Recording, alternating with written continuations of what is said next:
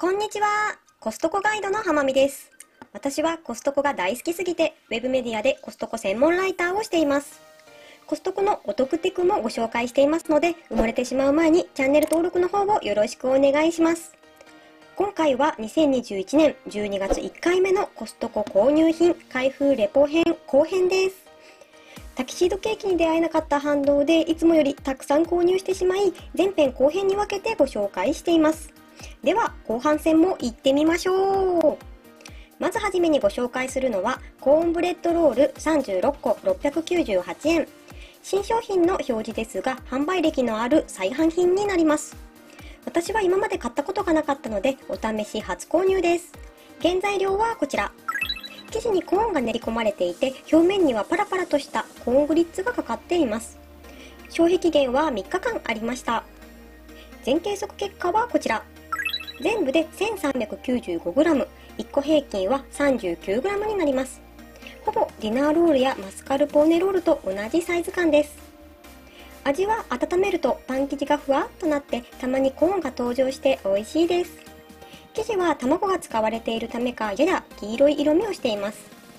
バターではなくマーガリンなので芳醇な香りはあまりなくマスカルポーネのような甘さもありません。お惣菜系のアレンジに良い味わいだと思います。でもそのまま食べても美味しいです。表面のコーングリッツは味や風味はなく見た目のアクセントだけかな？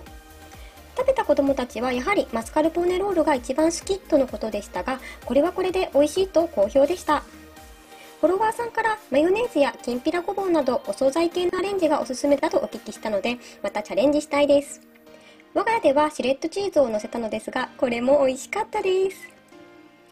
価格面では1個あたり約19円ディナーロールは約13円なので本品の方がややリッチ価格ですねでも5個で100円ならデイリー使いも可能な範囲だと思いますマスカルポーネと同じ価格帯になりますカロリーは1個あたり約81キロカロリー。ディナーロールとマスカルポーネと比べると一番低カロリーでした。総合評価としてはコスパ面ではディナーロールが最強でそのまま食べるならマスカルポーネの味がおすすめですが本品はちょっとリッチなお惣菜系アレンジに適した商品だと思いました。続きまして冷凍オーガニック豚ひき肉 500g×3 パック200円オフで1298円。こちらの商品は全店取り扱いではないようです。浜松店でも販売歴はありますがたまに見かける商品で常時は置いてない印象です。メルマガ掲載の一部店舗での割引で12月5日までの表示でした。賞味期限は1年3ヶ月ほどありました。パックごとに賞味期限が印字されているのでシェア買いや冷凍ストックにも便利です。原産地はカナダで輸入はお肉業界でも有名なスターゼンです。オーガニック商品なのでアメリカの有機認証マークや遺伝子組み換えでない餌を使用している点また抗生物質も使用していない点が明記されてかなりハイスペックな豚ひき肉になります。解凍は夜のうちに冷蔵庫に移しておけば翌朝には自然解凍されていました。今回バタバタしていて翌々日の昼間に開封したのもあってか少しドリップは出てしまいました。でも変色もなく綺麗な色合いをしています。この時点で感じたのですが脂身部分が少ないですね。赤身部分が多いように感じます。試しにフライパンに油を引かないで豚ひき肉だけで焼いてみました。やはり一般的なひき肉よりも油の出る具合も少ないように感じます。味は赤身メインのひき肉を食べている感じです。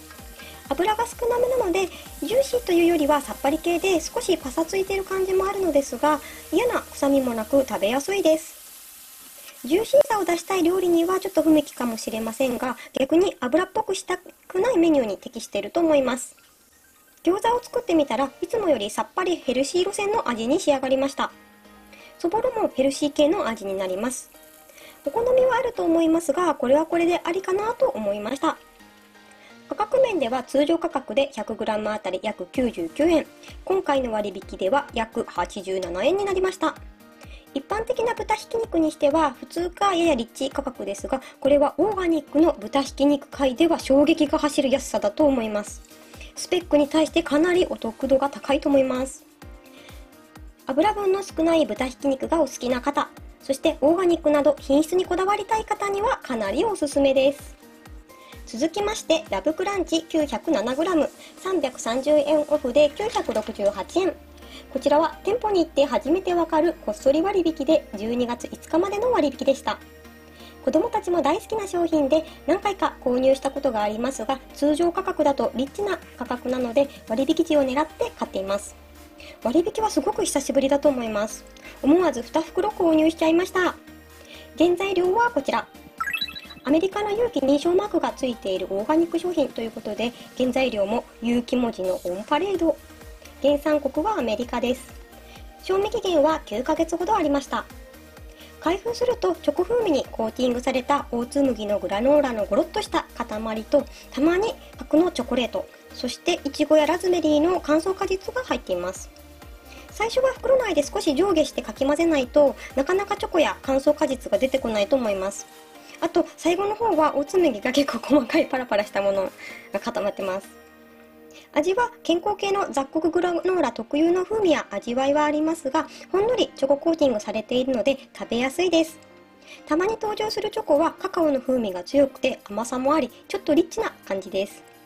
乾燥果実はそのままだと完全にドライなサクッとしたお菓子系の食感で酸味のアクセントがあります。そのまま食べても良いですし牛乳や豆乳にかけても美味しいです。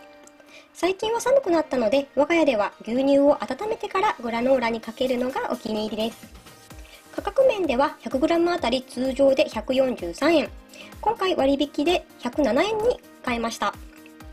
ちなみにコストコで販売しているカルビーのフルグラは 100g 単価約83円。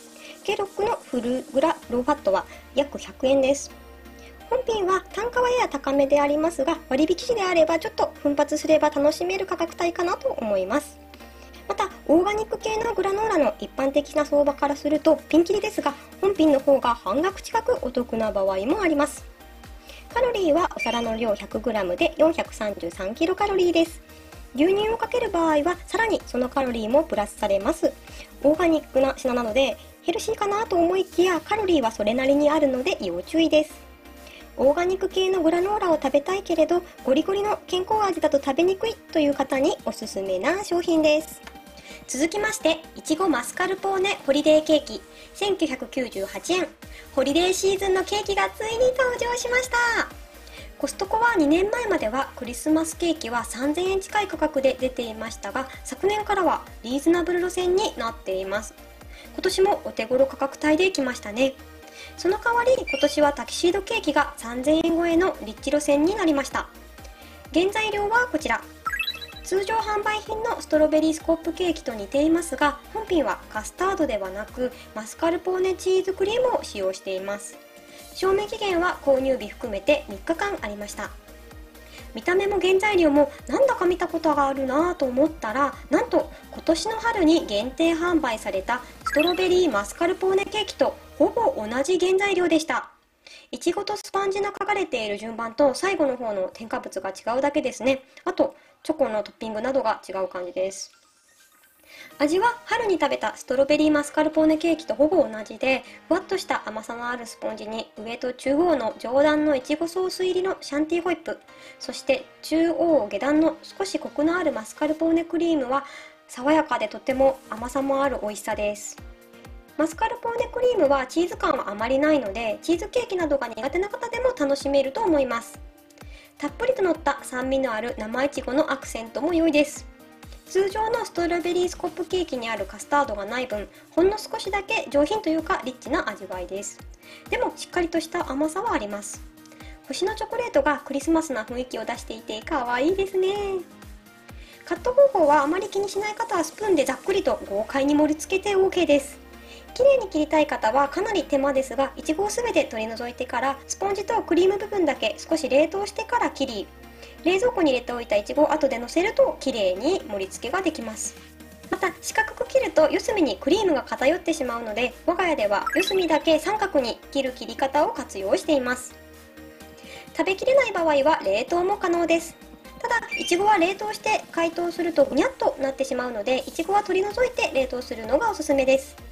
アイスケーキのように冷凍のまま食べる場合はいちごも一緒に冷凍しても良いと思います。価格は1パック1998円。通常販売品のストロベリースコップケーキより400円ほど価格がアップしています。その分ほんのちょっとだけ上品になったような味わいなのでその差額ならまあありかなと思います。内容量も実測で 1485g とたっぷりで12等分で1カット167円です。大手チェーン店でショートケーキを買うと思えば本品は味も美味しくお得感のある価格だと思います。カロリーは1容器分全部で3341キロカロリーです。12等分で1カット279キロカロリーです。食べ過ぎには注意しましょう。総合評価としては今回のケーキは切り分けにくさはありますがクリスマスにはお手頃感のあるケーキだと思います。家族や気心の知れた方とのクリスマスパーティーに活躍する商品だと思いました。続きましてルビーチョコレートソフトクリーム240円。フードコートの新商品です。ルビーチョコとは一般的なカカオではなくルビーカカオから作られたチョコレートだそうです。天然色素のピンクと酸味が特徴のチョコになります。少し前にコストコで販売された4種のチョコレートケーキにもルビーチョコレートが使われていました。コストコはルビーチョコ推しなのかもしれません。味は私的にあまり酸味は感じなくてしっかりとした甘さがありました。あと特有の香りと食べている時に感じる風味がすごく特徴的でした。これがルビーチョコの風味なのかもしれませんがなんかちょっと私は不思議な感じでした。見た目からベリー味やチョコ味を想像したのですがそういった味の気配はねほぼありませんでした。全く同じ味ではありませんが海外のお菓子にあるベリー系やチェリー系の風味特有のちょっと人工的な香料感や風味のあるソフトクリームかなと感じました。私は海外のチェリー系のお菓子の風味が少し苦手なので正直こちらも風味が苦手だと感じました。家族の反応は夫はまずくないし食べられるけど1回でいいかなという感じで子供たちはパクパク食べていたものの普通のチョコの方が食べやすいと言っていました。好みが分かれそうな印象だったのでインスタのフォロワーさんにアンケートを取ってみました。結果はこちら。